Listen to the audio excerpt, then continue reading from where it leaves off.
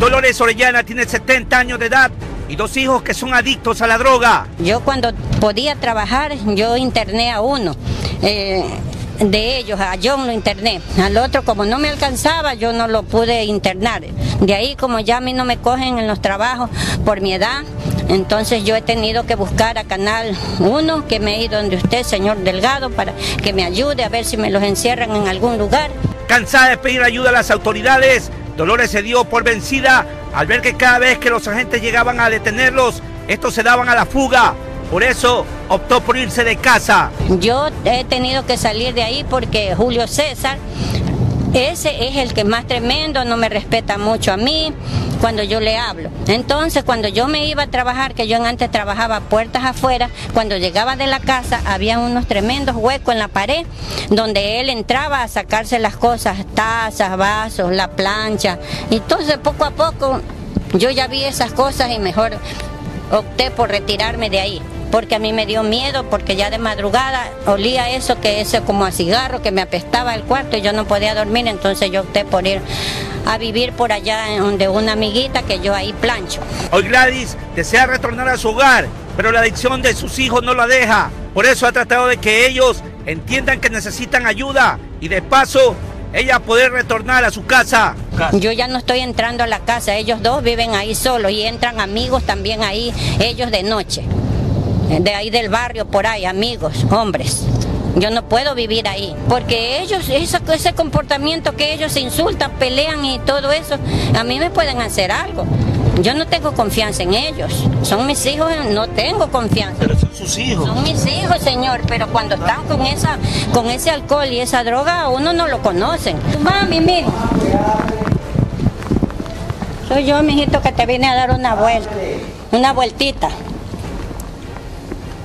Abre nomás que te viene a dar. ¿Cómo están, mijo? Bien. Dale una Gracias a Dios. vueltita. Gracias a Dios, mijito. ¿Qué pasa, mijito? ¿Qué va a pasar? Pero no me mire así porque está molesto. ¿Cómo está, amigo? ¿Qué ¿Cómo ha dice? pasado? Muy buenas tardes. Muy buenas tardes. Sí. Dígame. Caballero, ¿cómo está? Buenas tardes. Estamos con los agentes de policía. Sí. Investigando esta situación. ¿Qué es lo que pasa con la Sí. señora? ¿Cómo está, caballero? ¿Con cuál señora? Con su señora madre. Con mi madre, que la estoy esperando que regrese para que venga a vivir aquí. Dada la circunstancia de lo que me sucedió un día, que me apuñalearon. Mire, la evidencia. Me destaparon el cerebro. Me pegaron un piedrazo acá en la masa encefálica. Me machetearon. Yo también he estado en el ejército, mi estimado amigo. Tengo guardado un fusil FAL 55379 en el Beido Imbabura. Soy un defensor de la patria y también soy un comerciante sino que no me voy a Montebello a trabajar, porque si me voy a Montebello a trabajar y me trepo en un tráiler a contar aguacates o lo que sea, o me pongo a contar aguacates por mayor, cuando acuerdo me da la chiripiolca, ¿y sabes por qué me da la chiripiolca? Que así le dice la gente, la humanidad. Porque, a ver, a ver, a ver, mi estimado, usted también ha de saber, ¿por qué cree que me da la chiripiolca?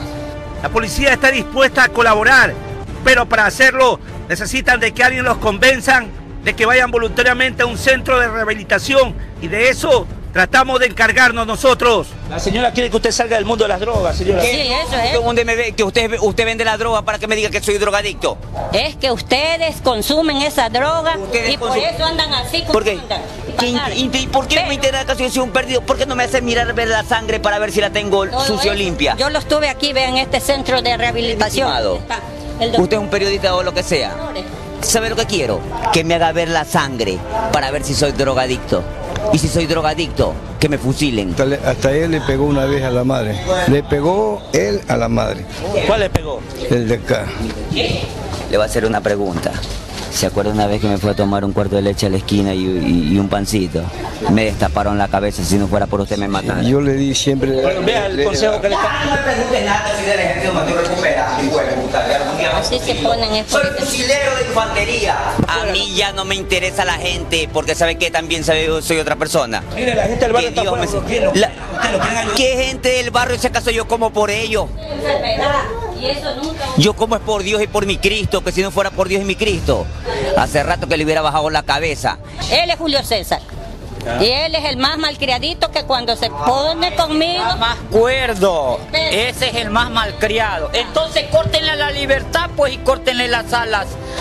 Porque yo no pido ayuda de nadie. ¿Y a dónde me van a mandar? ¿A la penitenciaría? No. ¿Al ¿Por qué? Tampoco. No estás loco si estás van a dar? a rehabilitarte. Tú no eras así como estás. ¿Y no para qué así. quiere que usted que yo sea un fortachón y cara rosada? Seas un ser que sirvas para la sociedad. Mira, ve cómo sirven para la sociedad y la humanidad. ¿Y por qué ellos sirven? honradamente. Así quiero que ustedes también trabajen honradamente. Tienen otro modo de vivir y ellos tienen otro gusto, ya nosotros no tenemos. No se están matando. ¿Sabe qué? Yo no sé lo que va a pasar aquí. Que. Ese me lo estoy tomando yo, mi estimada. Todos dos toman y todos dos fuman. Yo no estoy negando. Porque soy de las fuerzas aéreas y si quiere vaya y pregunte. Aéreas.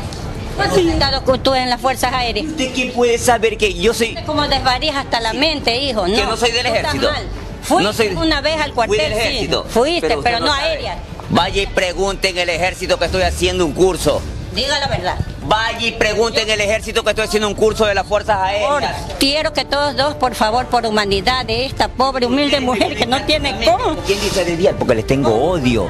¿Sabe qué? Porque el que la hace se olvida. El que la recibe, nunca. ¿Qué sentido piensa usted que nos puede ayudar? ¿Encerrándonos? Es la única manera que usted se recupere, señor, en un centro de rehabilitación. Ah, la única manera de que yo me recupere. Yo ya estuve en un centro de rehabilitación social de varones que se llama la Penitenciaría del Litoral. Y son como 3, 4 años. Yo no necesito encerrarme, yo necesito amor, comprensión y ternura. Ah, ¿y quién le va a Eso necesito, yo no necesito estar encerrado. Y ahí, ahí les dan, ahí les dan atención. Les dan, les dan la plata que le quitan y le dan sobredosis para dormir.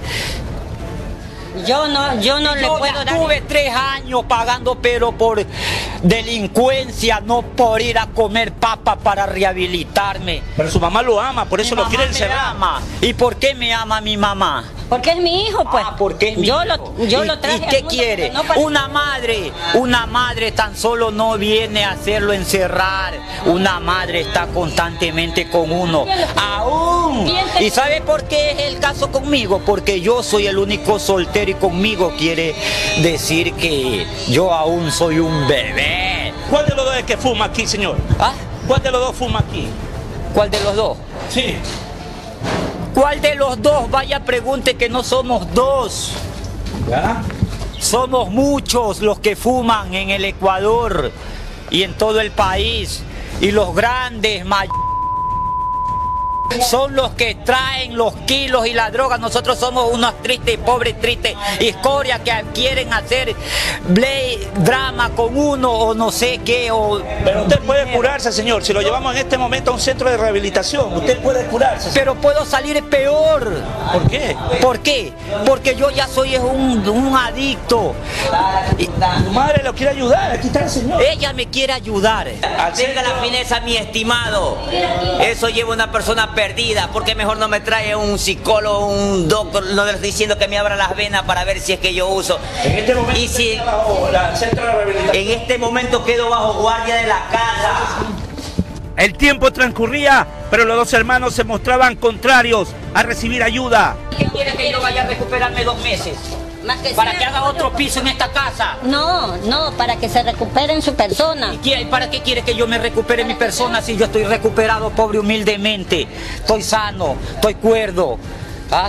¿Para qué quiere que yo me recupere? Aquí César en esta vida como vive Yo lo que quiero es que usted no gane ni no gaste ni un centavo más por nosotros, porque yo creo que en el centro de rehabilitación no nos van a tener gratis.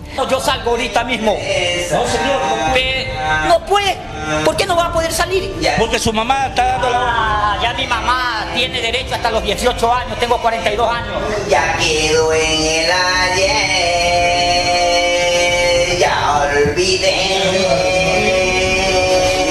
Es difícil hacerles entender que necesitan alejarse de las drogas. Hicimos todo lo posible, agotando los últimos recursos. Porque si alguna vez, madre, tú te me vas para el cielo, llevadme, madre querida, no me dejes, yo te quiero, pero su sombra me alcanza como bendición divina. Es el ángel, no lo puedo mover, ¿por qué? De mi vida peregrina. Yo le pido a mi Jehová orando Que mi madre no es todo el mundo se burla y soy del ejército. Pregunten el ejército si no venga con la que la que policía ni ocho cuartos.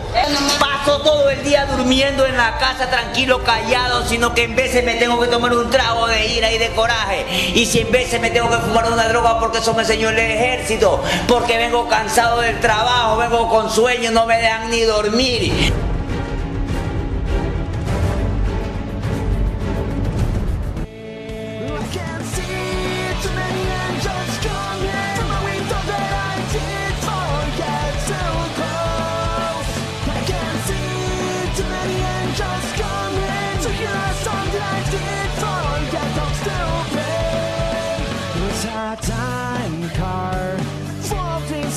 But seems like it won't get too far. I want someone to wake me up.